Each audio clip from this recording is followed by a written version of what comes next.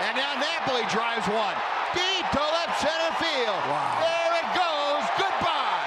That was a bomb. That ball, that ball went over the seats out there to the top of the grass area. Napoli's first home run since coming back to the Rangers.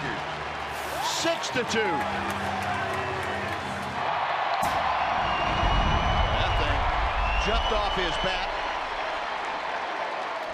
Almost got on the roof out there. Dead center field.